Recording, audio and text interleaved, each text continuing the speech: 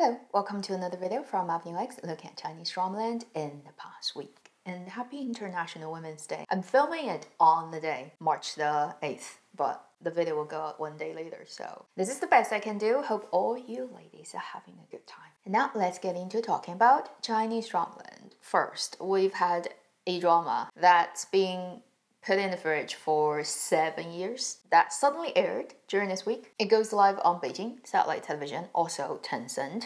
Originally, this drama supposedly was 60 episodes long. It got edited down to 40. 宣武门, Xuanwu Gate, or Gate of Xuanwu, which is still a city gate these days in Beijing. It's a end of Qing Dynasty setting, historical legend drama, I'd say. That's actually led by an ensemble of very heavyweight middle-age range actors, including 任重同磊, Wang Zijian, Si Qinggaowa, Zhang Fengyi. And it was actually filmed back in 2017. It just didn't go through. And I think probably for a good reason. I checked out one episode of this drama and I clicked in and clicked out. Entertainment wise, it's not that interesting. Historical wise, it's weird. It is set in real time and featuring real historical figures, only that the story itself is like has nothing to do with real history. It starts with this jade carve, pomegranate that never really existed in history anyway. And the importance of it also is kind of a joke. There is a traditionally very important piece of jade in Chinese history, in case you're wondering, which is called Chuan Guo Yu Xi, a kind of seal made of this piece of jade that has a longer history in historical recording. Supposedly, anybody who holds it holds the right to rule China. It actually got lost a long time ago and never resurfaced. So every ruler, ever since it got lost, was trying to find it and trying to claim that they are the official and rightful ruler of China. And there are a lot of legends and stories surrounding this piece of jade, as you can imagine. And this drama just created its own, which is a pomegranate. I'm like, yeah, like as if we don't know that that's totally made up. Just because of that, it makes the whole story looks really funny. Then we have a couple of dramas that are either kind of like 95% confirmed or like 80% confirmed, but will show up very soon. First, on the 14th, we should have the contemporary drama going live on Tencent. And that's the drama I've talked about multiple times since they started shooting. 小日子, literally meaning little days. Don't think it has an official English title at this point. It is the contemporary, domestic, ordinary people's life drama between a couple that's led by Chen Xiao and Tong Yao. They have just released their first official trailer of people who are living in Shanghai and struggling because, well, if you're an ordinary person, it's expensive to live in that city. Then on that very same day, Tencent should be holding a press conference, yes, interesting, for a drama, Yu Fengxing. Legend of Shen Li, the second collaboration between Lin Gengxin and Zhao Liying, and many people have been waiting for. And there are all kinds of rumors about when they first released this trailer, people are unhappy about its filter and the look and the color. So there's this rumor that they went back and kind of redid all the coloring. I don't know if that's true. Right now, the projected and highly likely date would be March the 18th for the drama to go live. And then also on Tencent, it's likely that around sometime mid March, they should air the fifth Yes, the fifth Ode to Joy. I watched the first Ode to Joy. Second one was like kind of there, and three, four I totally gave up on it. It was just too ridiculous for me, even when it actually features actors I like. Now, it's the fifth one. They filmed this together with the 345, so it's really just one drama broken into multiple pieces. And finally, we're getting to the end of this IP, I think, the conclusion. It's like the type of drama that if you've been watching, you probably just want to see to the end, you know, for all the time you've invested in it before. But then for people who have given up it long time ago, there's no reason for you to go back to it type of situation. Then there are a couple of projects more exciting to me personally, at least. Although they haven't said when they're gonna go live, but based on now they start promoting officially, you have the feeling that it may come sooner than you think. First, we've got new posters and an official new trailer for drama that will air on 爱奇艺 when it airs. It is the 民国 setting drama 长风破浪. English title War of Faith. It's the one that I've talked about I think once before led by Wang Yibo, Wang Yang, Li Qing. And it's to do with finances, to do with the Mingguo Shanghai, that kind of environment, and to do with different political parties in play, a little bit espionage, and then since it's called War of Faith, you know what it's to involve, okay? It's to involve Kuomintang and then Gongchandang and then invaders and then all those different powers. And for Wang Yibo as the male lead, right, he's to be Communist Party member for sure. Like even when he doesn't start with it, he's to end with it. Otherwise, it's just not to work for Mingguo setting dramas. Its made quality looks quite okay, like the standard mid to mid-high range iQIYI period setting drama. One funny thing of that whole trailer is it's a lot of epic shots with very strong string music in the background. It hardly features any lines of any characters, so nobody is really speaking. It's just all the atmosphere, the explosive moments, the shocking acting moments with this epic music in the background. So that's the first trailer they put out, trying to set the mood and make the thing look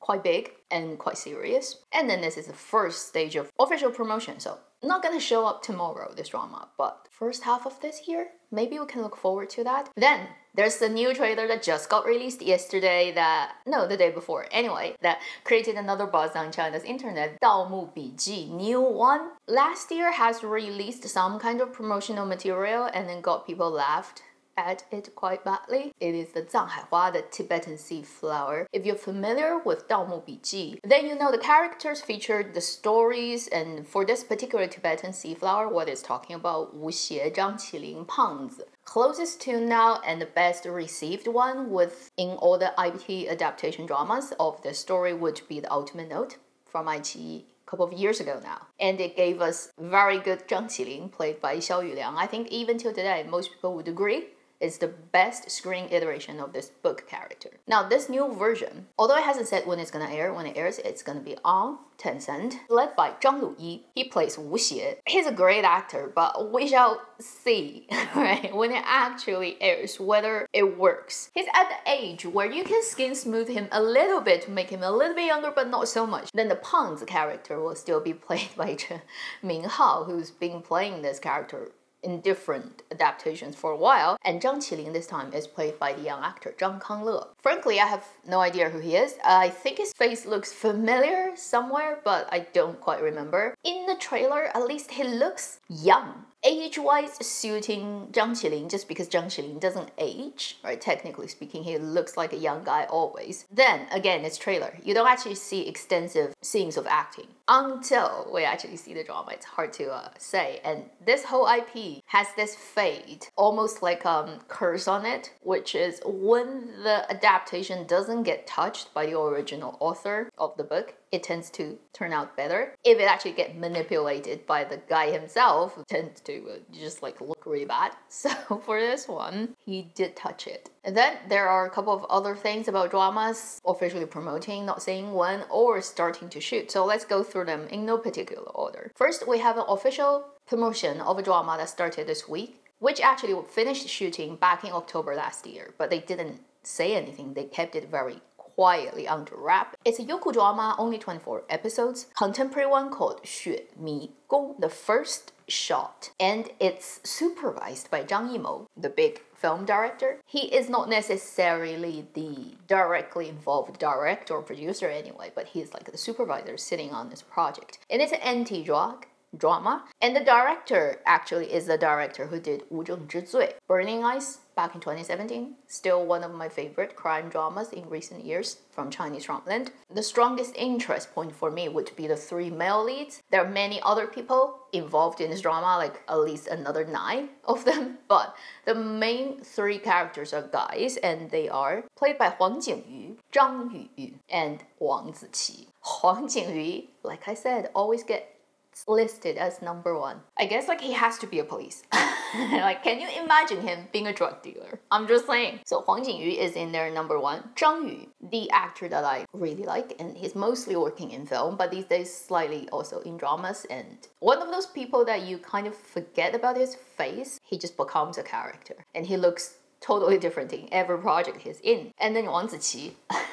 I don't know, I watched too many sweet, romantic, happy dramas he's done with Wang Yuwen, and I can't wait to see him be a bad guy. Hopefully, this time in a drug dealing drama, that would be really interesting, and hopefully, it's better than the other police drama he was in not so long ago that I couldn't bear watching. Definitely the type of drama I'll check out when it airs. Then, since we're talking about officially promoting but not yet airing drama, but I definitely will check out drama.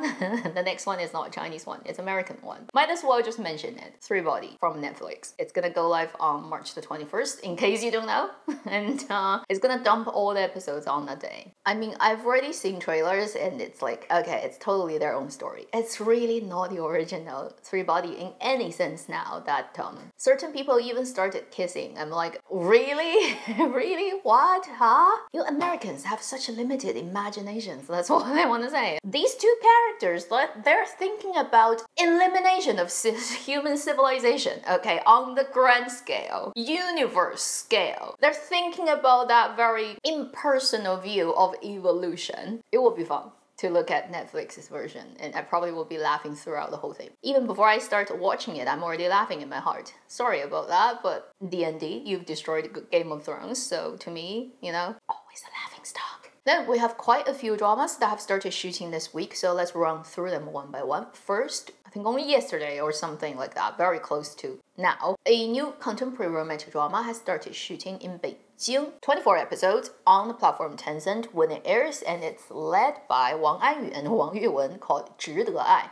literally meaning worth loving. Hasn't shown up anywhere on drama list yet, so again, people need to update your information over there. So it doesn't have an official English title, and it's a focused on two people's romantic relationship and many years, like over 10 years of that entanglement thing, at least based on the synopsis, it looks like that. To me, the only interesting thing is it's two cute young actors that I like. Wang Anyu and Wang Yuwen. And this time it's not Wang Ziqi and Wang Yuwen, but it's still Wang Wang. So just shows you Wang is a huge surname in China. Like, I think around like 100 million people actually has that surname. And I want to see how they work out a chemistry. Then we also have a historical drama that has started shooting, and this is a very familiar combination. 长安的荔枝 the Lichi Road. it is a Tang Dynasty setting period drama based on the famous author Ma Boyong's novel that actually got released like recently. Within half a year, I remember this book published, and now it's already being made into a drama. It's directed by Cao Dun,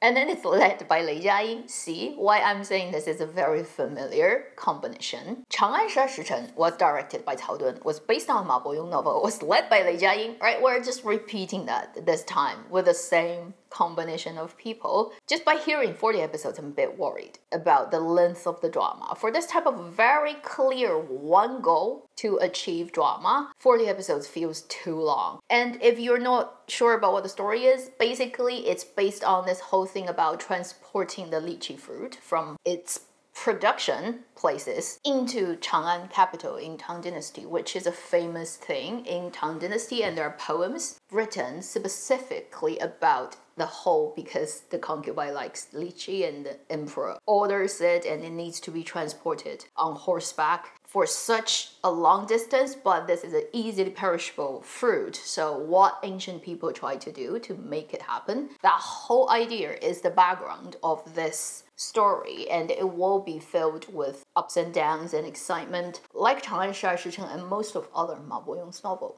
And it's 40 episodes, and it's spiritual, man. It's Okay, we're not gonna see it until like mid next year, fastest, probably even later. And when that time comes, we shall see if it's uh, worth watching drama. Then we have a proper series contemporary drama started shooting this week called 依法之名. English title In the Name of Justice. Just hear the title, you know it's serious, and it's a story mainly features the prosecution. And it's gonna be led by just hear the names, you know it's serious. Zhang Yi, Li Guangjie, Jiang Xin, 36 episodes. Youku. Then we also have a contemporary drama, only 16 episodes, produced by Tencent that has started shooting this week called Yu Sheng You Ya. Not sure about its English official title, and it's led by Mao Xiaotong, and Zhang Bingbing, and this time they're playing a young couple. Don't want to spoil it too much for you. It's a short drama, and when it airs, you'll know. If miracle happens, we may even get to see it before the end of this year. Then I have already talked about the period drama that Liu Shishi is shooting. Now it has officially started shooting. They've held the ceremony, the drama is rolling. Zhang Xin Kill My Sins, led by Liu Shishi and Dou Xiao. When I first talked about it, I didn't know that the second lead couple will be Zheng Yecheng and Xuan Lu. Personally, I'm more interested in the second lead couple. Zheng Yecheng, if you've been following my channel for long enough, right? It's one of those like really hopeful people on my list of everything about this actor is just like so right in place. Just somehow he just never got to the level of popularity and fame that he kind of should have. But anytime, any moment in time, he could explode and it will push him up to that level. The fact that he is the second lead couple with Shen Xuan I also really like her. She actually was in Hong Lou Meng not many years ago. I still remember what she was like when she was a teenager. So just because of that, I really, really am now very interested in this project. Finally, to wrap up today's video, we have a wrap up thing that has happened. Actually, I think not last week. But they say officially last week, so let's put it last week. It is a film that actually has been in the making for a long time, but being under many many layers of wraps and nobody knows exactly who's the cast member and whatever. It's just being very low-key and secretive. It's a film that's directed by the director chen kexin it's a mingguo setting film called jiang yuan nong literally means jiang yuan alleyway. The english title right now is the jiang yuan nong the murderer. Whether that's going to be the final title we shall wait and see. And the lead of the film is zhang ziyi yeah, the queen, the queen, okay, of Chinese cinema, most famous internationally Chinese actress these days. And then the guy leading the film is Lei Jiaying. Film, television series, contemporary period drama, comedy series, whatever. 雷佳音是块砖，哪里需要哪里搬. Somehow he just ends up in all films and televisions, and he's like this omnipresence of Chinese drama land and film land. Anyway, so he's the first credited guy among the cast members, and it also features many other people. And this is actually based on a real murder case that happened back in Mingguo of a woman killing her husband and cutting him into pieces, I think. It's actually on newspaper back then. Pretty interesting story. So this film has wrapped. It actually started shooting last year and leading up to like before Chinese New Year. Before Chinese New Year, it's almost 90% finished. So now it's officially finished. And it's a movie and it's very secretive about all the stuff in it. Who knows? For a movie, it may happen this year, it may happen next year, it may happen 10 years down the line. You never know. That should be the last piece of news I have collected for Chinese Dramaland this week. And technically, it should be spring now, it's March, but last two days in Winnipeg, crazy blizzard and knee high snow. Probably will be the last heavy snow, hopefully, like this winter. Thank you for watching Avenue X. I'll see you in my next video. Meanwhile, live long and happy drama watching.